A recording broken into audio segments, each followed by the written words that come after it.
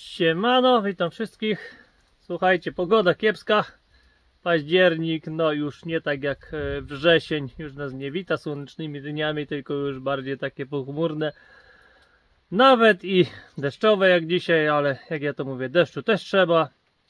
Także jeszcze Wam nie poprzestawiałem, nie pokazałem tej instalacji, zbudowałem, ale dzisiaj będzie odcinek taki, czy już moje gospodarstwo domowe, mój dom, przy takiej instalacji, y, ilości instalacji jak ja mam już może e, może nie działa do off-gridowo, bo jeszcze magazyn energii wysokonapięciowy nie jest uruchomiony, tylko niskonapięciowy, ale już po e, po prostu patrzeniu na ilość energii wchodzącej, wychodzącej już można coś spostrzec, a z drugiej strony dzisiaj jest taki temat, że wszystkie instalacje, czyli ta Solar Tracker, może zacznijmy od tego dla tych co nie wiedzą, e, tam mamy Solar Trackera 5 kW z tyłu, tutaj siedzę w altance schowany, żeby mi na głowę nie lało, bifacjalnego, tutaj mamy Solar Trackera 385 kW na panelach monokrystalicznych.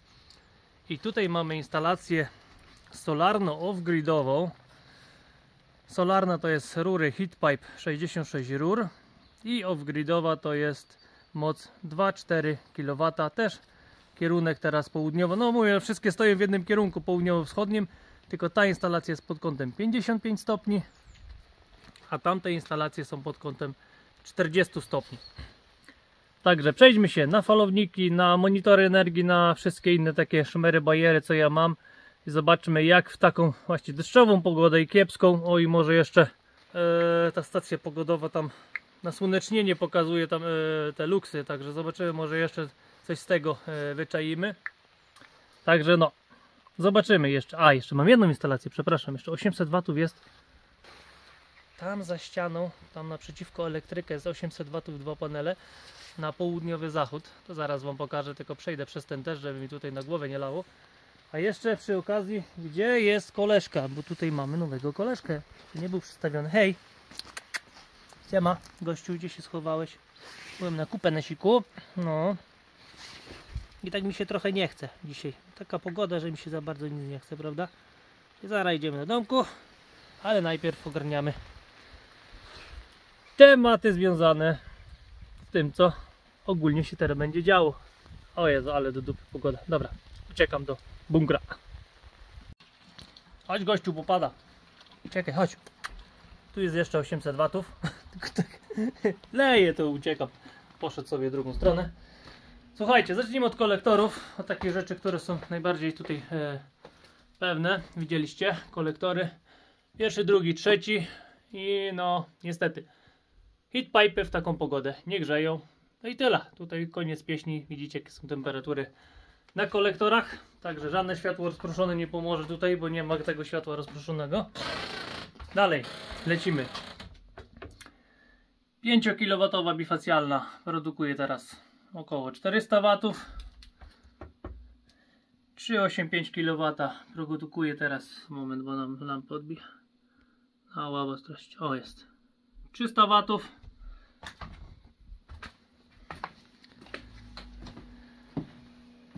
A off-gridowa 2-4 kW produkuje 225 W mniej więcej, nawet coś tam w baterię pcha jakieś 2 może amperki no i jeszcze jedna jest, bo tu jeszcze mamy 800 W 800 W nam daje 0,8 ampera a dokładnie to zaraz wam powiem ile to jest do niej sobie przejdziemy Pyk lampę wyłączę, bo mi tutaj tylko przeszkadza. 21 W produkuje. Jej, hura! Ale zapierdziela głupie. Ale co, słuchajcie, co jest ważne? Yy, to jest ważne. To jest monitoring inaczej. Ten licznik energii, cewki od niego są założone pomiędzy licznikiem energii yy, zakładu energetycznego, a wszystkim co ja mam, czyli domem, falownikami, gridami i całą tą historią Tutaj wstępnie e, tylko hybrydowo-gridową instalację tutaj taką mam pomalowaną. Tutaj jest jeszcze 5 kW falownik i już jest e, sieć jeszcze dla mnie to jest prosument, prawda? Ale ja się skupiam na bardziej tym zamkniętym temacie. Od nowego roku już będzie pod ten falownik zapięte. Też 5 kW instalacja, także będziemy mieć tutaj już e, pełen ten pełne kombo e, na całości i wtedy będę ciekaw no kiedy tak naprawdę potrzebuję energii, żeby no ile potrzebuję, nie? Ogólnie energii, żeby sieci pobrać, a ile mogę na własnych potrzebach, bo dzięki, dzięki dzięki baterii jednej baterii, tutaj drugim niski napięciowy, czyli 24 V, wysokonapięciowy, czyli 345 V w tym momencie, bateria jest rozpięta, ale mamy około 350 V i, i jeszcze no, to całość, bo już się pogubiłem w tym wszystkim też także zużycie energii tak jak mówię, w tym momencie widzicie, widzieliście jedna instalacja coś produkuje, druga coś produkuje i jeszcze w tym momencie oddaje 646 e, watów do sieci. Także tak naprawdę w tym momencie mogę uruchomić jeszcze dwa klimatyzatory, które już sobie jak wystartują i później się wyrównają. Dzisiaj akurat był tam dobitka, było z klimy na chwileczkę, pół godziny do domu, żeby tak komfortowo się troszeczkę w domu zrobiło. Mogę dwie klimy na tym odpalić, bo one tak około 250-300 watów e, pobierają jak już sobie spracuję na spokojnie, a przy tych temperaturach to około 250 W, także jeszcze dwie klimy mogłyby pracować i jeszcze na tym, co teraz mam, czyli bez e, właśnie wysokonapięciowego magazynu energii, bo niskonapięciowy magazyn energii jest e, e, tak jak tutaj e, widać, ładuje z niego elektryka i co braknie, to wtedy podbiera e, po prostu z kolejnego, będzie podbierał, będzie uruchomiony. I po to idzie oświetlenie domu, lodówki, inne tam rzeczy i dodatkowo jeszcze pod to idzie pompa ciepła do ciepłej wody użytkowej, która dzisiaj na pewno będzie pracować. Ona pobiera około 800 W i może 1 kWh wciągnie. Także takie pobory mniej więcej. A domek sobie można zobaczyć tutaj wciąga w ciągu miesiąca. Widzicie, pobrałem z sieci 43 a oddałem 174 przy takiej pogodzie już kiepskiej, bo to co na zielono to jest to oddaje do sieci, czyli jeden ładny dzień widzicie było, poszło 50 kWh w sieć, a tak to już za dużo nie poszło. Bilans tego muszę liczyć ręcznie, bo musiałbym tak naprawdę mieć dwa liczniki energii założone, żeby mi to wszystko wyliczało, a według mnie to nie ma za bardzo, słuchajcie, sensu. A na przykład dzisiejszy dzień. O, dzisiaj dopiero się zaczęło jakieś oddawanie. Jeśli dwie kreski się zejdą e, razem, to znaczy, że wyszło no równo. To co oddałem, to co, to co pobrałem, ale no niestety nie było słońca, także produkcja do sieci oddana jest 0,28, ale 3 kWh tylko e, zużyłem, co widać tutaj też na tym słupeczku, że klima była odpalona. U dziadka klima już sobie śmiga, e, bo tam jest niżej. Już Wam pokazuję. Moment, wróć, bo się zapędziłem. Tak mi jest lepiej z jednego na drugie, bo jakbym tak zaczął jeszcze z ekranu nagrywać, to już bym zdurniał. O, tak przy okazji. O, moment, bo mi się tu poklikało. Off-gridowa instalacja, czyli to, co mamy tutaj. To, co pobiera dom z tej instalacji. Teraz leci 70 e, watów. To, co jest, co mi brakuje do tej instalacji, mogę Wam nawet pokazać w tym miesiącu. Yy, może rozbijmy to na na dni. O, tyle pobrałem. Ostatnie 7 dni, bo dzisiaj 8 jest, także w tym miesiącu tyle pobrałem z sieci, bo ładować trzeba było elektryka, to troszeczkę brakło, także sobie troszeczkę podebrało, ale nie dużo. Trochę chaotyczny film, ale ja z tego wszystkiego będę robił później filmy już konkretnie z tego, z tego, z tamtego, a dzisiaj chciałem taki ogólny. I tutaj są pompy ciepła. Eee, słuchajcie, tutaj macie na, żebym nie zapomniał, na żółto, e, no pomarańczowo jest 3,5 kW, na niebiesko jest 2,6 kW i tak na tutaj o taki fioletowy to jest 7, ale 7 to tylko pracuje praktycznie na podtrzymaniu i nic e, więcej. I ostatnie 7 dni, no moment, wróćmy, godzinę minuty, za daleko, wróć, godziny. O, tylko nie nie tylko ostatnie 24 godziny, ostatnia doba. A, palucha mam za grubego. O, tutaj widzicie jak właśnie szły pobory. Te niebieskie strzałki to jest właśnie, że klima dogrzewa u dziadka, Czyli co praktycznie co kilka godzin macie raz, dwa, trzy, cztery. Tak, co 5 godzin się uruchomi, dodmucha mu, tam jest ok. Ja o, wczoraj wieczorem dodmuchiwałem, bo to jest e, wczoraj wieczór, tak? Dobrze mówię, tak. Yy...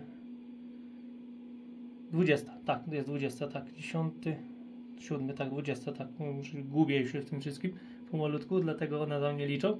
O 20 był delikatny dodmuch, co tam wzięło 0,13 kWh. Rano był delikatny do, dodmuch, tu macie 0,28 kWh. Jakby był już e, w tym wszystkim, słuchajcie, uruchomiony magazyn energii e, wysokonapięciowy, to bez problemu by to wystarczyło, bo w tym magazynie mam zgromadzone 10 kWh, ale wczoraj ładowałem elektryka. Już w tym miesiącu elektryk też wciągnął 34 kWh e, na jego ładowanie. Bo nieważne, czy ja go ładuję, słuchajcie, e, z tego magazynu tutaj, czy go ładuję tu drugie gniazdko, ale cały czas licznik nalicza jako ten magazyn. Bo czasem nie ma sensu ładować tej baterii i rozładowywać, tylko dorobiłem sobie drugie gniazdko, ale jestem z nim wpięty zalicznikiem ale pobieram z sieci. Czyli jestem po prostu tak jak macie tutaj, o tutaj jest licznik energii, to jestem wpięty tutaj. Czyli tak jakby falownik to też pobierał i to jest zaliczone właśnie ładowanie elektryka do tego magazynu energii, żeby mi się to fajnie wszystko w zestawieniach e, zgadzało. I na ile wystarczy, czy wystarczy, no i w ogóle ogólnie. Także magazyn na dzień dzisiejszy jest taki o ledwo co 25,7, ale ratuje się delikatnie na mnie 25,5, no jakieś 2 kWh nie zostało, więcej nie zostało. A wysokonapięciowy będzie około no 16, ale dycha chyba będzie z niego wykorzystywana, bo 4 zostawimy na, na w razie braku prądu, bo już mi raz prądu brakło. I się przydał magazyn energii, przypinały się na razie mam na przedłużaczach jeszcze, bo nie jest dokończony właśnie ten wysokonapięciowy. I się przydał. Także będzie tak do wykorzystania 10 i 4 jeszcze do, jak już braknie prądu, wtedy dojenie już do spodu e, z wyjścia e, z lauda. A temat taki, że jak ten wydoje do spodu, to jeszcze mam ten. Jak ten wydoje do spodu, to tutaj jeszcze, jak widzicie, jest zasilacz buforowy, akumulator i inne rzeczy. To jest jeszcze jeden akumulator, który trzyma, pilnuje, żeby ta bateria była cały czas aktywna. Żeby ten system działał że jak wyjdzie rano słońce albo pokaże się cokolwiek, to zacznie tutaj cały czas to działać. Bo jakby mi padł ten, znaczy padł inaczej, falownik już go odłączył, bo jest za niski na nim prąd, ale on dalej działa. On jest, yy, on ma energię, tylko jest ustawiony na tyle i tyle, że tylko do 80% go rozładowujemy.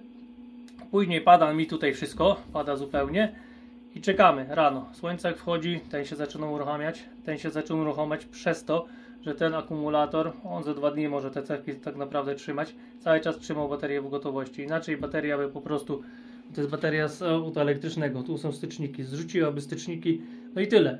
I trzeba było iść rano ręcznie ją uruchomić, a tak cały czas trzyma. Dlatego jest jeszcze jedna bateria, jest zasilacz rorowy, żeby jeszcze przedłużyć właśnie ten cały cykl. I to jest takie dodatkowe, podwójne bezpieczeństwo w razie czegokolwiek. Pamiętajcie, bezpieczeństwo ponad wszystko. Powiem tak. Mm, już nie wiem, co mam mówić. Dawajcie znać w komentarzach, co tam chcecie, wam odpowiem. E, ja ogólnie też już sobie na kartkę spisuję, o czym filmy robić, bo mamy tak, hitpipe mam, e, tego w gridy na 2,4 kW, tu są bifacjale, tu jest jeszcze białe podłoże, to też coś tam może daje, kamyk jeszcze pójdzie, ekrany będę stosował z tyłu właśnie pod te e, i kolektory i bifacjale, tylko mówię, że czas, czas, czas, Udało mi się to zbudować, na razie sobie to zaczyna pracować. Pokażę Wam całą konstrukcję, jak to jest zrobione, jak poskręcane, co, gdzie, jak i no i tak na tym, jak ja to mówię, moim bezrobocie spróbuję nakręcić maksymalnie filmów, ile się da, a gdzieś robotę złapię, to później dalej nie będzie czasu, a, a ta wiedza już zostanie, także no tyle na dzisiaj, słuchajcie, więcej Was nie męczę w tą niedzielę. Miłej niedzieli, trzymajcie się ciepło. Hej!